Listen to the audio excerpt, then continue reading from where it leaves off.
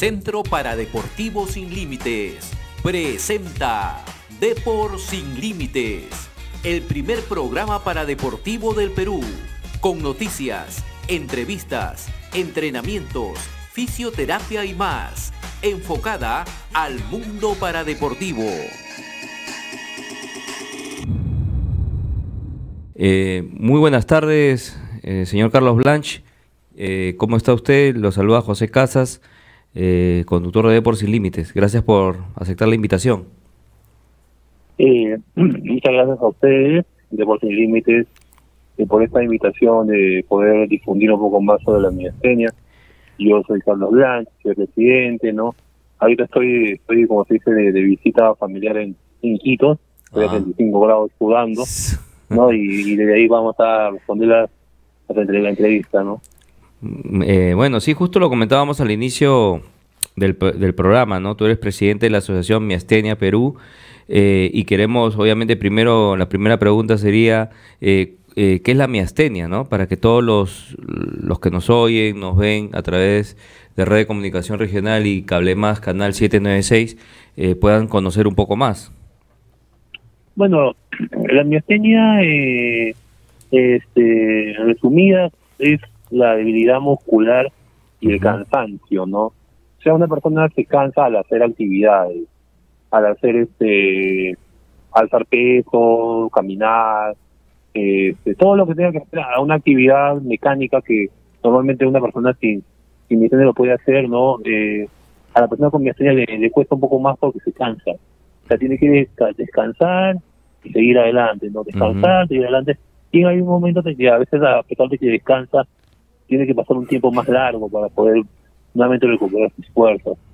Y eso hace que la persona con miastenia, pues, no tenga, como se diga, esa, esa facilidad de, de poder llevar una vida constante, ¿no? O sea, siempre tiene que ser con, con descanso, con medicamentos que hagan que la persona pueda, pueda moverse, ¿no? Una cosa. Esa es la miastenia. ¿Y, y qué, qué síntomas o rasgos se presentan eh, eh, en la miastenia para o, o- o existe algún tipo de diagnóstico temprano? O en, en qué está incluido también en el tipo de enfermedades raras, eh, Carlos? Mira, eh, la miastenia, para responder tu pregunta, es una enfermedad rara. Una enfermedad ajá. rara huérfana porque, ¿por qué? Porque uno que eh, todavía las autoridades del Estado y la sociedad todavía no miran hacia, hacia, ese, hacia ese tipo de enfermedades y dentro de una de ellas es la miastenia. Claro. O sea, no, no, ten- no tenemos todavía la, como se dice, la, la mirada primera ¿no? en, en, en este tipo de enfermedades. ¿no? Siempre hay enfermedades primordiales que es lo que ve el Estado, ven las autoridades. Nosotros recién estamos siendo conocidos y, y recién están mirando hacia nosotros, ¿no? Ajá. Eh, son, por eso somos enfermedad, una enfermedad rara y huérfana.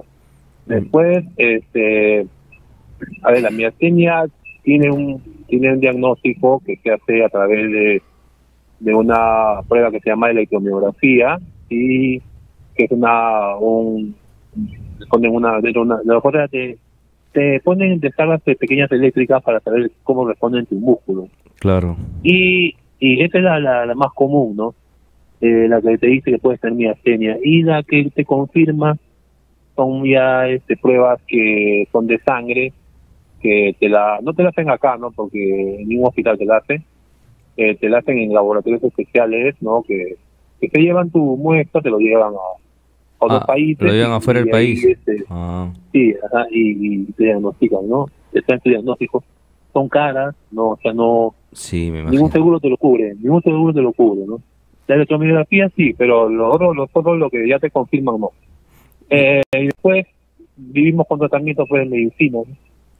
De, y, y en qué momento es más en qué momento de la vida aparece eh, esta enfermedad y esta podría ser causada o a consecuencia de, de alguna otra enfermedad o infección o es algo que aparece eh, simplemente de la nada o es congénito y mientras uno va creciendo ¿cómo- nos puedes Eh, mira, este, la miastenia, eh, o sea, hay distintos tipos de miastenia que se han descubierto. ya Ya, eh, en un principio se creía que era una sola, ¿no? Pero se- al, al descubrirse que las miastenias eh, tenían diferentes, eh, se manifestaba de distintas formas, fueron descubriendo tipos de miastenia.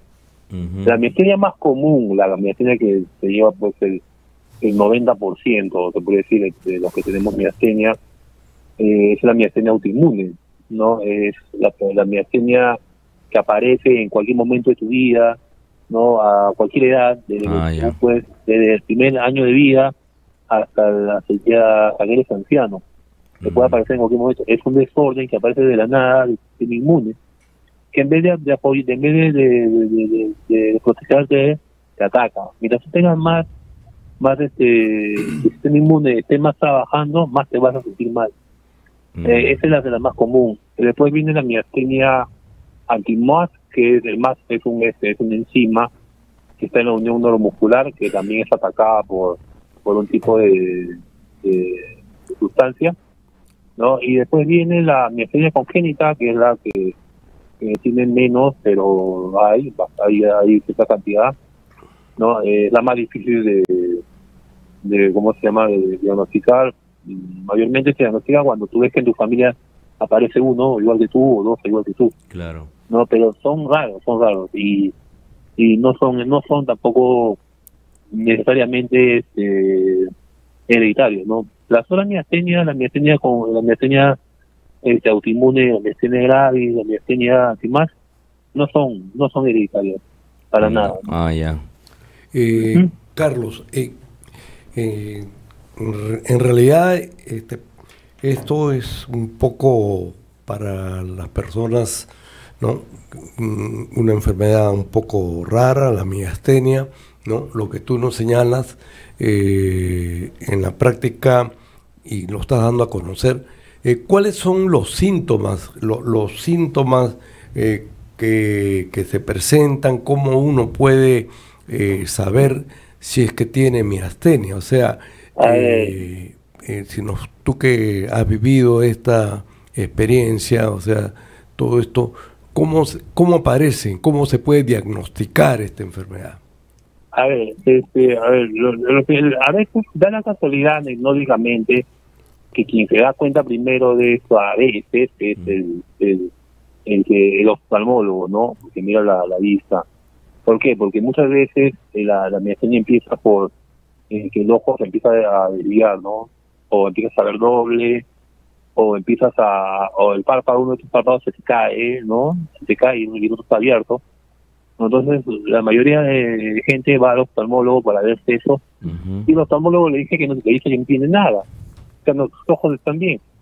Pero al ver el oftalmólogo que, que, ya ve que se le cae el párpado y ve, ve que el ojo se va para un lado, eh, quiere decir que eh, la persona no lo está controlando. Entonces, ya es, más o menos, algunos de los oftalmólogos ya saben. Entonces, ellos te dicen, ándate al neurólogo. El neurólogo ya te te, te, hacen las pruebas, ¿no? Ahora, hay otros otros que empiezan, por ejemplo, de un día para otro, están caminando en la calle y, se cansan, ¿no? empiezan a cansar, otros empiezan a subir una escalera y ya no pueden, otros que, este, que cuando van a que le empiezan a caer las cosas de la mano, ¿no? Entonces ya no puede ya no puede cargar peso. Otros este otro también muy conocido es que eh, se empiezan a ahogar a comer porque no pueden tragar, ¿no? O sea, la acción de tragar se descansa y, empiezan a ahogarse. Entonces ya uno, entonces ya de eso va, llevan al hospital. Claro, no, no es, no es, no, no, no se podría decir que, que diagnostican ahí mismo cuando ya se más en eso, ¿no? Sino que eh, a veces, muchas veces son confundidos con otros tipos de enfermedades, ¿no? Que a la persona con miastenia pues le empiezan a dar medicamentos que no son, o le dan tratamientos para cosas que no son, ¿no? Entonces, este, hasta que no le hagan las pruebas que realmente o tenga un neurólogo que sepa, ¿no? Que esos pueden ser los síntomas. Mm, Bien, este, Carlos, en, la práctica, este es un, un problema de comunicación entre los nervios y los músculos, o sea, eh, eh, eh, es tratado por, por los neurólogos, o sea, en la práctica tu, tu tratamiento tiene que ser a través de neurólogos? El, el, neurólogo es el único que puede tratar a la persona con miastenia.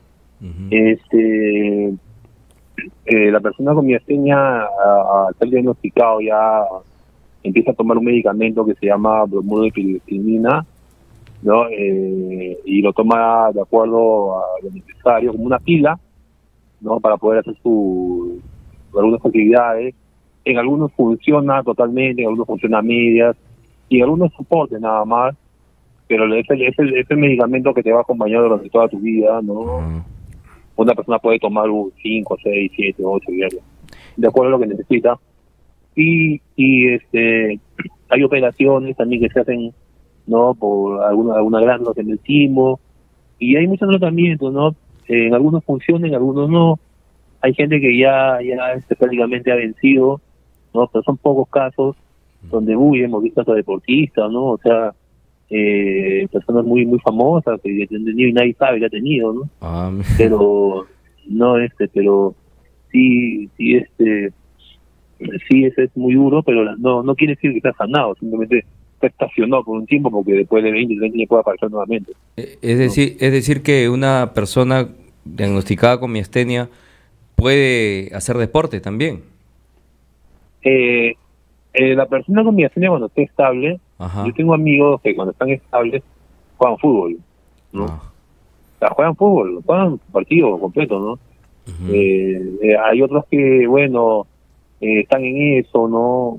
Yo, por ejemplo, cuando era chiquillo, tengo la miastenia del niño, ah, yo hacía igual con, con, mis amigos, pero este, de acuerdo a lo que podía, ¿no? Y sí jugaba fútbol, me acuerdo, pero pero cierto tiempo nomás hasta que me cansaba y ya no podía más. Claro. ¿Y, y cómo, cómo decides formar la asociación Miastenia Perú? ¿Puedes contarnos un poco la historia de cómo, de cómo se forma esta asociación y, y cuáles son los, los fines de la misma? Eh, nosotros este, en el 2008, junto con unas personas que son la señora Teresa Prado y el señor Marcelino Nájera, eh, decidimos formar la, una organización, una asociación que agrupe a las personas con migraciones, porque en ese tiempo no había, bueno, y si habían, habían, no trabajaban de acuerdo a lo que era la necesidad. Entonces, decidimos formar más que una, una organización, una institución tan, tan así, no, eh, que se puede decir, tan, tan heterodoxa, ¿no? Tan, que, que, sea así como una institución más, ¿no? O sea, más que todo un grupo de amigos, ¿no? Eh, con el fin de que la persona con migración tenga un espacio, un, lugar donde encontrarse con otras personas como, como ellas y, no se sientan solos, ¿no? Y se pueda trabajar juntos y protestar juntos, ¿no? Y, formarnos como, como líderes, como activistas más que todo, ¿no? Para dar a entender nuestra asociación, nuestra, enfermedad. Y bueno, fuimos al principio éramos cinco, como se imaginarán, como nacen todos. Como nacen todos. Fuimos cinco, fuimos diez, y cuando se empezaron a pasar la voz, hemos llegado ya, ya a 800 personas en todo el Perú, pues, ¿no? Y tenemos una filial inclusive ya en, en Chiclayo, ¿no? Ya tenemos 13 años y, y bueno, los objetivos son estos, ¿no? Tienen que ser estos de, de que haya un espacio para aprender con miastenia, podamos apoyarnos con lo que se pueda, no este dar a entender dar a conocer nuestra enfermedad y y bueno, pues este, luchar por nuestros derechos, más que todo, no que es lo más importante. Y el tratamiento, este, el tratamiento, Carlos, eh, que realizan ustedes, tú, tú nos has hablado de una pastilla que hay que tomarlo de por vida, ¿no? Que hay que tomarlo siempre, eh, está al alcance de las personas, o sea, eh, el, Estado, el Ministerio de Salud les proporciona para el tratamiento de esta enfermedad a ustedes o es bastante difícil obtener este estos medicamentos? Mire, eh, nosotros hemos, nosotros eh, hemos tenido problemas desde, bueno, yo me acuerdo ya, yo tengo ya ahorita 46 años, ¿no? Yo tengo de la de niño.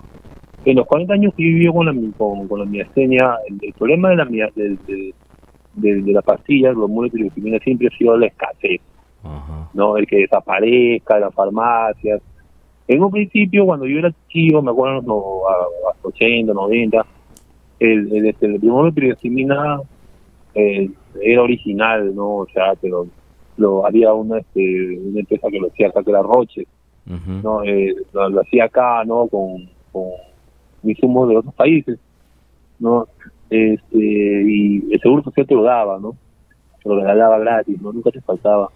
Y, y en la farmacia era recondo, barato, ¿no? O sea, podías ir en una farmacia a comprarte cinco o seis cajas para que tengas todo el tiempo. Eh, muchos no íbamos a, muchos preferíamos comprar en farmacia que ¿no? Porque era barato. Eh, ya en un tiempo, de, desde el 2000 para adelante, empezaron a, a dar genéricos, ¿no? En, el seguro social, pero el MINSA nunca daba, ¿no? O sea, el MINSA no, no, no te daba y la gente tenía que comprar su, los que no estaban en seguro tenían que comprar su medicamento. no y, y también había el, el, escasez, ¿no? O sea, eh, de que a veces no había en la farmacia, ¿no? Ahora, cuando en esta época, ya eh, eh hace unos 10 años que sí, ya se siente la pegada, o sea, hay gente que, hay gente que, este, que tiene que tomar muchos medicamentos diarios porque eso lo necesita y, claro. y se gasta pues un blister te cuesta pues como 50 soles, ¿no?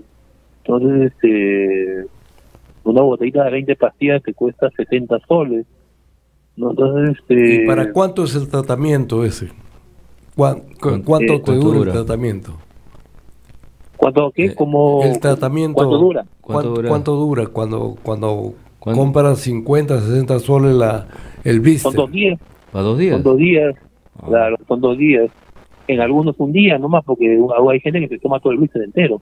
Oh. Depende de lo, depende de lo que haga. Entonces, entonces hemos empezado, entonces cuando ya apareció, eh, empezamos a luchar por la por la ley de enfermedades raras, porque cuando las enfermedades raras con con este con la organización FEPEL, la Federación de Enfermedades Raras, este, se dio la ley pues de que el CIS, cuando apareció el CIS, tuvo que Cubrir. asegurar todas las personas con miastenia. Pero era es prácticamente una lucha, ¿no? A veces el CIS te da, a veces no te da, hay meses que te da, hay meses que no te da. No, este, hay días, hay días en que la, la gente tiene que comprarse sus medicamentos. ¿Por, por la escasez que, que, manifiestas o es porque...? Porque a veces en los hospitales no hay. No hay. Oh. No, eh, eh, el, seguro social es lo único que te puede asegurar que te va a dar. El claro. Mm, es, es, es, es, estarle pidiendo cada mes, diciéndole... No, entonces, ¿qué es lo que sucede? Que que ya pues entonces cuando en el, había una época en que no había los medicamentos en los hospitales y bueno pues la, la asociación tuvo que cargar prácticamente no en la época de pandemia que no había no había los medicamentos no llegaban a los hospitales. Entonces teníamos que darle siquiera dos tres veces a cada persona de lo que nosotros teníamos no de, de las reservas claro. y no sé cómo sobrevivimos sobrevivimos de esa época. Ahora y ahora tenemos ahora tenemos problemas iguales no en provincia sobre todo. En provincia no claro.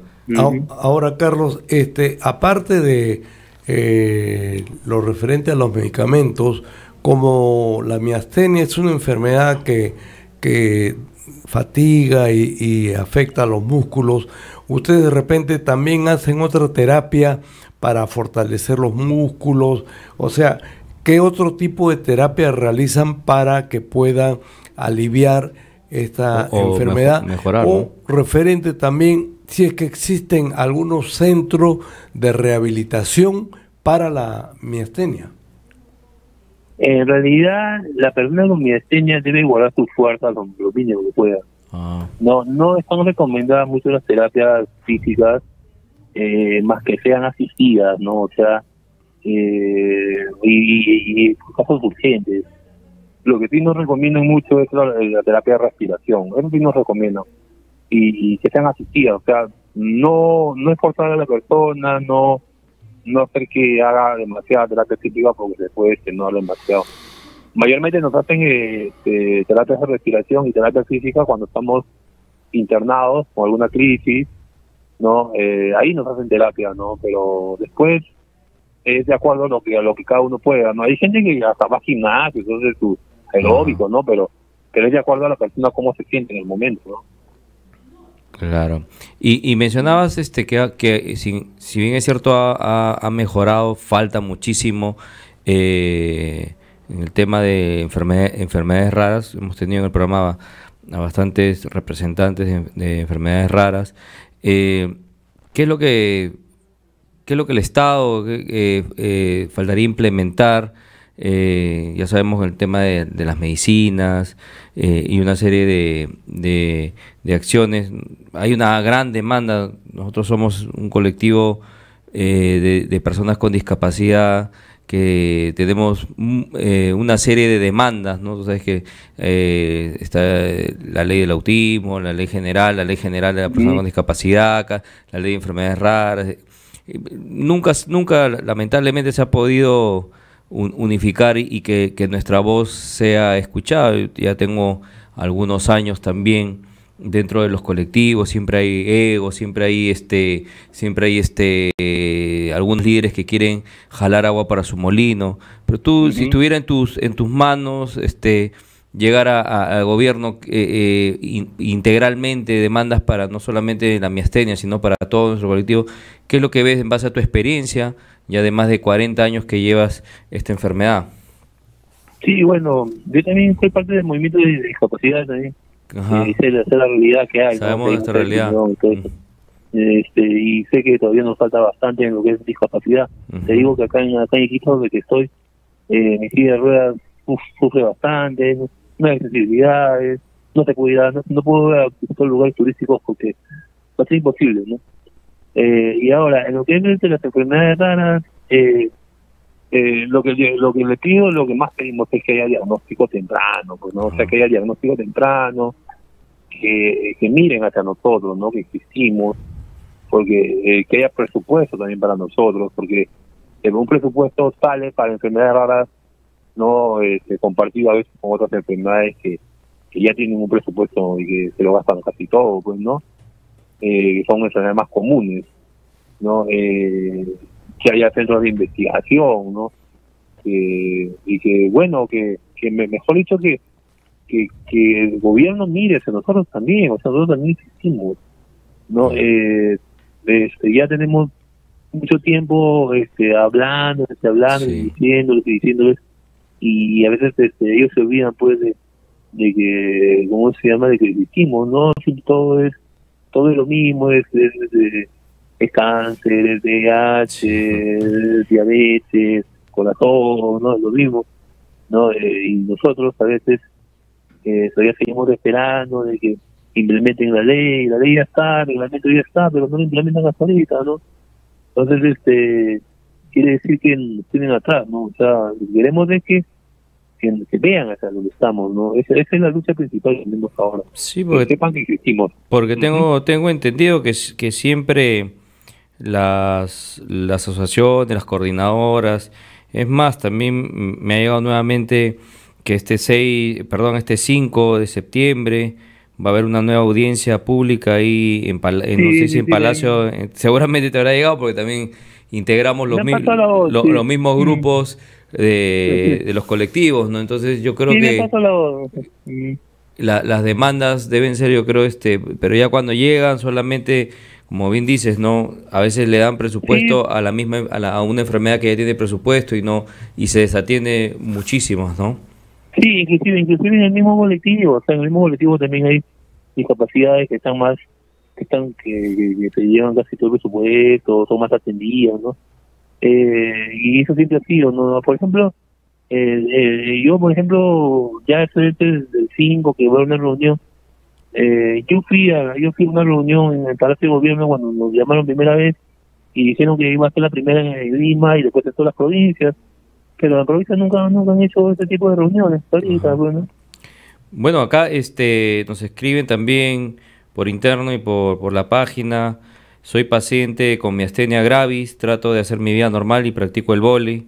Eh, saludos a Carmen Mamani, que también nos, nos, nos escribe. Y, y, es verdad, ¿no? Porque también, como bien lo mencionas, pacientes con miastenia han sido deportistas de alto rendimiento y obviamente, pero también hay, hay, hay este, algunos casos que obviamente tienen mayor gravedad en enfermedad y otros, otros de, menor. Pero eh, en, algunas actividades o proyectos que tienen pensado realizar ustedes como, como asociación Miastenia más adelante o, algunas demandas que, que, tengan pendientes para llegar este, eh, a ser escuchados, Carlos? Bueno, nosotros vamos a seguir peleando junto con los compañeros tanto de la Federación de General a FECER Ujú. y como ahora un colectivo nuevo que se ha armado de otros grupos, con otras asociaciones también que se llama Los Pacientes que Importan, ¿no? Y, y estar siempre ahí luchando por nuestros derechos, como como como sabemos de las enfermedades raras, tenemos que estar unidos todas las asociaciones, ¿no? Porque Claro. una sola a veces no nos caso. Después tratar de, de que la, la, la asociación siga creciendo, ¿no? Seguir haciendo filiales. Eh, por ejemplo, yo tuve una reunión hace, ah, bueno, el día de ayer con, con pacientes de acá, ¿no? Este, para ver si también acá formamos algo, ¿no? Iquitos, ¿no? Eh, porque, uff, Iquitos está recontra. En sentido. ¿Tú, tú, No, radi- tú, este- radi- tú radicas en Iquitos? No, no, yo, yo nacido acá, pero yo Ah. radico en Lima.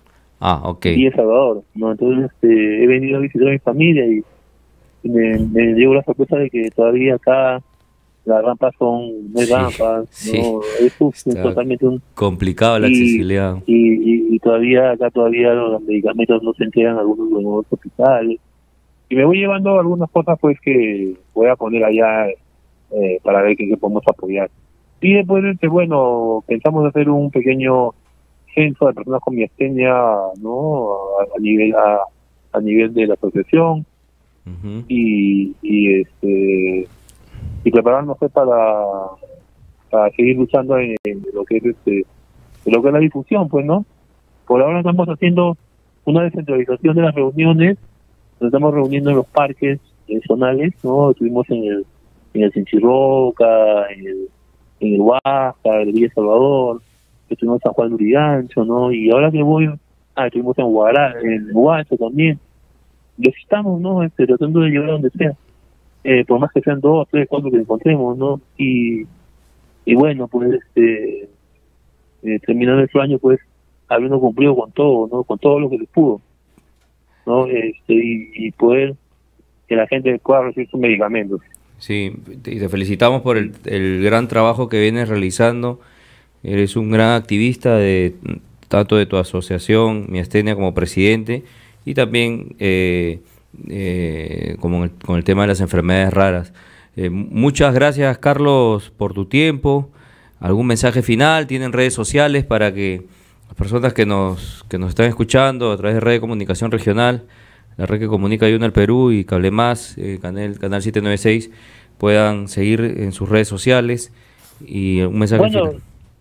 bueno, el mensaje que les doy es a todos que este, nosotros tenemos un problema siempre que es que somos una enfermedad y una enfermedad, una discapacidad, mejor dicho, invisible. Y ya pues se han dado cuenta, ¿no? Si, si yo me paro ahorita, empiezo a caminar unos pasos, nadie me va a creer que tengo miastenia. Claro. Y ese, ese problema es un de que tenemos no solamente en la miastenia, hay algunas enfermedades raras también que se parecen, ya, pero en el caso de miastenia nosotros tenemos problemas en los micros, tenemos problemas en el este eh, eh, en, en el carnet de discapacidad que no nos quieren dar, no eh, hay mucha gente que no nos cree que tenemos una enfermedad, no eh, inclusive hay médicos también que no nos creen, gente que no nos cree, ¿no? nuestros propios familiares no nos creen. Mm, Lo que les pedimos es que por favor este sepan que la miastenia existe, ¿no? No, si alguien te, si alguien en un lugar te, te, te pide o no te quiere dar el asiento, pregúntale qué tiene, ¿no? Y de repente si te dice miastenia, no le vayas a jugar, no le digas no, que es emoción, que te párate, que no, que tú no tienes nada. Porque a varios compañeros los han hecho eso, los han hecho parar, ah, los han hecho ir parados en, parados en el, en el, este, en el servicio en el público. sí, pues. Entonces, por favor, siempre eso, cuando tengamos, mostremos nuestro, nuestro carnet, eh, no es un carnet falso como nos, nos dicen a veces, no, eh, también queremos decirles también que por favor, este, a, a, a- las personas que dan el carnet y, y- nos evalúan, por favor, que, que no nos vamos a curar, que no, con terapia no nos vamos a curar, Claro. meses no nos vamos a curar, que nuestra, nuestra es una discapacidad crónica. ¿no? Y Hab- que Hablaste, hablaste del carnet. ¿A ustedes, como, como este bien enfermedad rara, le dan el carnet celeste o el amarillo? ¿Le corresponde el amarillo? Depende del médico. Depende del médico. O sea, Depende esa, del esa, médico. esa Si es criterio. una persona buena, si es una buena, si es una persona buena gente que sabe, te va a firmar y te va a decir ya. Puh, Si es bueno. una persona que, que te quiere alucinar en ese momento que sabe y que, y que es lo máximo. Pero ya te fregó, te pues. Ya, ya, ya, ya, te, Sí. ya, te, quitó, ya te quitó un derecho al transporte gratuito. sí, te va a mandar, te va, te va, te va a decir, bueno, ya, por ayudarle te voy a mandar celeste, te dice. Este, y te voy a ayudar. Y hay, ¿eh? otro que, y hay, y hay otro que te, hay otros que te dicen, ¿sabes qué? Este, ya no te puedo hacer más, este, ven dentro, de seis meses para ver si te has curado y, y podemos ver si te damos o no algún jale. Bueno, ahí vemos que no hay médicos especialistas en el tema en el Perú, ¿no? Como también lo mencionaste, que los que algunos para diagnosticar tienen que mandar a laboratorios fuera del país. Bueno, Carlos, a tus redes sociales para... Ah, bueno, las redes sociales estamos en todos lados. Estamos en Twitter, estamos en Facebook, estamos en Instagram, estamos en este eh, en todas esas redes como Miastenia Perú. Miastenia Perú, no Miastenia Miastenia Grande, Perú. sino Miastenia Perú. Ok, Y salimos en todo eso, en todo eso. Y tenemos nuestra, nuestra página que es www.miasteniaperú.org, ¿no? ujú. Y nos encuentran en todos lados. Ok, Carlos. Un placer tenerte en el programa, eh, muchos éxitos para mí, ¿no? y igual estamos en permanente comunicación y hasta la próxima oportunidad. Sí. Gracias a los dos.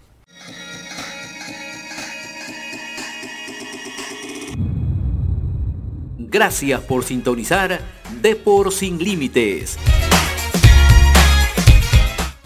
Dirigido y producido por José Carlos Casas Carrión. Los esperamos en nuestra próxima edición con lo último del mundo paradeportivo.